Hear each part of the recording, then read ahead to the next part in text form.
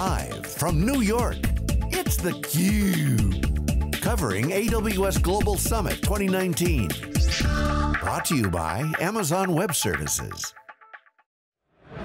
Welcome back. We're here in New York City at AWS Summit, one of the regional summits, over 10,000 people in attendance. I'm Stu Miniman. My co-host is Corey Quinn, and happy to welcome Slalom to the program for the first time. So Slalom, like Amazon themselves, is based in Seattle, yet also has a presence here in New York City. And representing that, uh, to my right, uh, we have Parul Patel, who's the Manager Director of Middle Market for Slalom, based here in. New York City. Uh, World Trade Center, I believe, uh, where your office that's is. That's right. Uh, that, that's excellent. And Joe Berg is the Managing Director uh, with Slalom, based out of Seattle. So thank you so much for joining us. Yeah, thank you. All right, so I, I, did walk by the booth this morning. You know, build as a service is, you know, the, the big takeaway I have. But Joe, for our audience that might not be familiar with Slalom, you know, give us the bumper sticker. Yeah, yeah, so you know, the way we like to tell the story is, you know, Slalom is a modern consulting company focused on strategy, technology, and business transformation.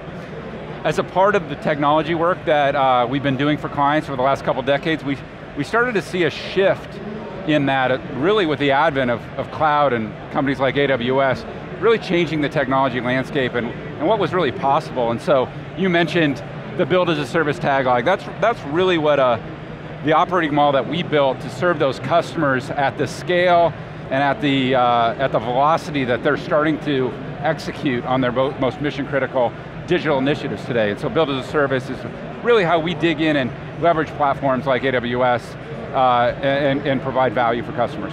All right, so Parul, one of the things we like about these regional summits is it's not just a little bit rinse and repeat when you go to the environments, but right. they do speak to uh, you know the local market. So you know when you look at the you know the, the, some of the customers in the keynote, it's like oh well, you expect to see some financial services being right. here in New York City. Uh, you start up like DoorDash, you know where, where, where they were here. Uh, give us your viewpoint. You know what, what what is special or unique about kind of the the greater uh, you know metropolitan region here in New York City uh, that that that you see with your customers? Sure. So I think um, as we think about New York as a market market. A lot of industries, a lot of companies that are based here. Um, certainly financial services, one of the big ones, but the buzz in the market is all about cloud. What are we going to do? How are we going to get into the cloud? Um, the question we like to ask our customers is why?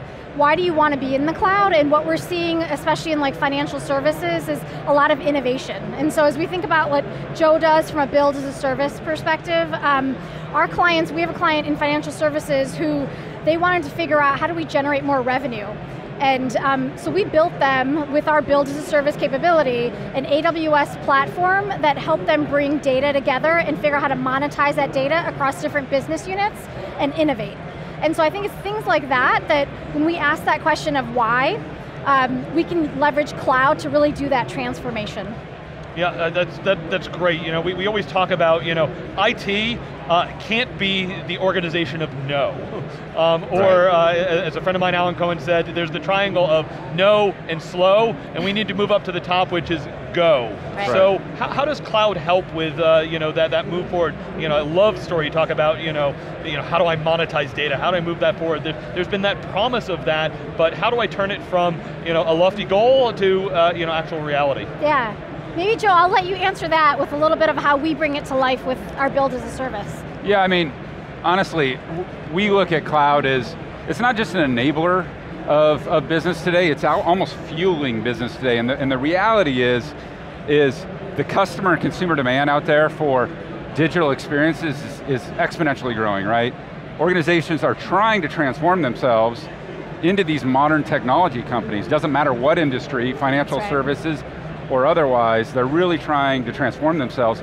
And cloud is really allowing them to get out of the procurement game, out of the infrastructure game, out of the data center game, and really start to lean into, how do I just make use of this in a meaningful way that's going to translate into those revenue streams that Parul talked about. Yeah, it, it's deceptively complex, uh, sorry, deceptively simple, I suppose, to take a look at what cloud represents of, okay, now whatever you want, instead of buying it, waiting six weeks for it to show up if you're lucky, and then racking it, right. suddenly it's an API call away. I mean, that, the technology piece is interesting, but how does that impact the cultural change, the processes, uh, the governance story about it, the cost control, speaking as a cloud economist, how, how do you find that this is revolutionizing these companies as they are migrating into this brave new world and transforming. Yeah. When I think about um, cloud, so to me it isn't a technology play at all across the business, it's about changing your business. Um, that starts with changing your mindset. So being in the cloud and leveraging cloud is about how do I do things different? Um, and that means I'm looking at my fundamental operating model, I'm looking at who my customers are, and then changing the mindset of my people, and culturally, we're going to become faster. We're going to iterate a lot more. And having things like cloud, which I can spin up instances at, a, um, you know, at the click of a button, makes it easier for me to do that. But it comes with, I've got to think about um, my people, right? And I always tell our clients, explain to your people why this is important to them and why it's important to the business, um, because they're going to be able to um, learn new skills, they're going to be able to do more and, um, and become more marketable out there. And so to me, it's, it's a company transformation, not necessarily a technology play at all. Yeah.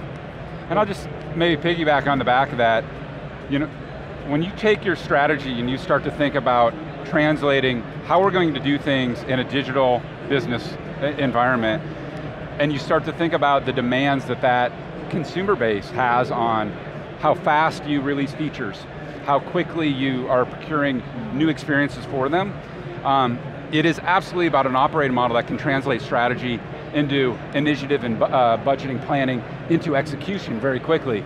It's also then about when they move into the actual execution. IT organizations were not built to build technology products.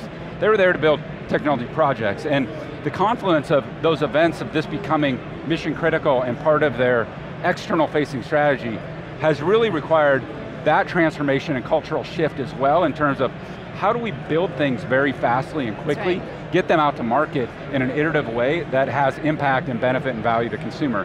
And I think that is the holistic complexity that, that organizations are dealing with with something that is making technology very simple, but the actual then motion of getting that technology to be useful is complex. Yeah, and it becomes very challenging to get to a point of people who are used to the old way of doing things, they're seeing the skill sets that's required continue to evolve, and it's very challenging for a large scale company to say, okay, I'm going to go out this week and hire 2,000 new people who are all up to speed on a cloud yeah. provider that's something that's almost impossible for people to do. So there has to be a bridge, there has to be a story that isn't, well, we're going to replace you with a younger version. There right. has to be something that opens a door and a way to get there. And doing that both culturally and on an individual level seems like it's something a lot of companies are struggling with right now. Is that something you're seeing in your customer base?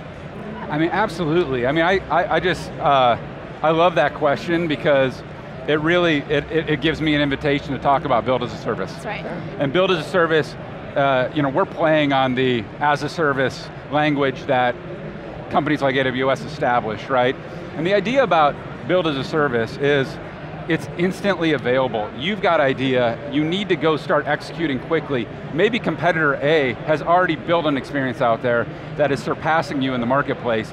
You don't have time to think about how do I pull all these things together? How do I upskill my, my resources in terms of uh, uh, skill sets and capabilities uh, to then get to the point where I can execute. I need to do that now, but I'm also on this journey of transforming my internal culture and my people and my skill sets. So how do I get a, a, a jump start in that? We have built a model to help our customers instantly tap into that in these uh, multidisciplinary teams that really holistically are bringing solution to the customer. But we're also doing this in, in what we call a co-creation model. How do we help them learn uh, and adopt those same principles that are going to help them build uh, modern technology, software, and products uh, uh, when we're gone and they're becoming self-dependent. And I think that is part of the journey of how you can leverage a company like Slalom. Well, and, and that's what I would add, Joe, is um, as we think about our, our offering, it is about getting to velocity in the software engineering space in the cloud, but this co-creation concept I think is one that we've heard from our clients that not a lot of pe people do. Right, it's easy for, um, for partners to come in and say, here, we'll just do it for you. And our model is we want to do it with you to the point where when you have an agile team, we've got a mixed team of Slalom team members and client team members where we're helping the, the client team members learn along the way because these are all new technologies that are evolving so fast that it's hard to keep up for anyone. Yeah, I, I, it gives me hope to hear what you're saying here because you know we all have the, the, the scars of listening through. It's like, okay, I did a big rollout. Well, how'd it go? Well, you know, it was six to 12 months later than we thought, and right. we all did the corporate mandated training, uh, yet a month later, we're all looking at each other saying, oh my gosh, how do we deal with what we have? And of course, you know, it is no longer just, you know, waterfall and throw things over there, it is constantly changing, therefore, you know, co-creation is a term we love, yeah. uh, and, you know, help us walk through, you know, how long is an engagement like this, and yeah, how much is there the ramp up, and then, you know, how do you, it's as a service, so I'm assuming there there is a you know maintenance and you're staying engaged as uh, you know after we are you know through some of those uh, milestones. Sure, sure. Well, I always kind of start with, you know, we moved from, as I said earlier, a project mindset into a product mindset. So each of these we consider its own piece of software. And, and product really starts way out here on the ideation side. So Parul talks uh, a lot with customers about the strategy of what new revenue streams do you need to be thinking about, how do you engage uh, with experiences. Once we move into this, I know what I want to build, now I just don't know how I'm going to get there to the, to the finish line, as you were talking about, Stu. Um, that's really where we enter in with this build as a service model. And we start with a, with a short four to six week discovery phase so that we can start to establish the foundation of what we're going to build together with our customers. That's where co-creation starts, right? What are the priorities? What are the features? How do we do agile together, which is usually a term uh, companies use, but it's not a term they know how to use, uh, uh, or, or, a motion they know how to exercise well with. And so how do we establish those things, how we're going to create together, and then we scale into what we would call an MVP release cycle. And our, our whole idea is that we help you get to an MVP, we help you get to minimal viable product, and, that, and then you start to become the owners of those future releases. That's that co-creation piece where we can bring you alongside us, establish culture, actually create business value by actually getting something out the door, and then you start to own it yourself. Depending on the competency and the abilities of the, uh, of the customers we work with, you know, that can vary in terms of when those, those transitions happen. But we look at that as typically anywhere from a, a, a 10 to 14 week exercise to get that first iteration out and then we start to iterate faster than that. Are most of your customers, are they just dealing with the people that they have in-house? Are, are they having to bring in new people to help with that transition along the way? Or is it, I'm assuming it's a bit of a mix. I, I, think it is a bit of a mixed bag, and, um, and I think one of the keys, uh, what I like about our philosophy is that we're all about how do we get you working software as quickly as possible. And so while we, you know, we can do a four to six week discovery, we have a client in um, a startup in the healthcare space where we got them through discovery within four weeks. And um, after, we do two week sprints. After three sprints, we had software up and running. And, um, and, and so within 10 weeks, we said, here's what you need, and and here's some here's some working software that I think um, in a lot of ways people say, hey, you know, we're agile, we work fast. People typically are not delivering software in 10 weeks. And that to me is the differentiator for the way we approach our problems is, is we want to get to that working software as fast as possible. Right, at right. some point it feels almost like agile uh, stopped meaning agility and started meaning uh, we have a lot of meetings every morning. That's and right. it's, that doesn't work. Yeah. That's right, that's, that's a great way to say it, yeah. Yeah. All right. Uh, a lot of customers here. Uh, tell us what are some of the, the, top things you're hearing from people. You know, what bring them to your booth? Uh, what, what are some of those things that uh, kind of set off the, oh, this is a good fit for working with Slalom? Sure, yeah. Well, I, you know, I, I, uh, I get asked all the time, you know, what industries do you guys work in? Where, where is this most relevant, especially when we're talking about build as a service? And, and the reality is, it just slices horizontally right through every industry because I don't know of an industry, whether it be healthcare, financial services, retail, manufacturing, I don't know of one that isn't on that journey. They're at different places on that journey and then the adoption curve, but usually we see them coming like, hey, I, I think there's a stat out there that says 80% of the enterprise customers are have, a, have adopted cloud, but only about 10% of the workloads are on cloud, That's right. right? So they're coming to us with saying, hey, we know we're on this journey of moving to the cloud, but we're stuck. We're stuck in really getting the most value out of the cloud, and how can you help us accelerate the value that we believe is there with a platform like AWS?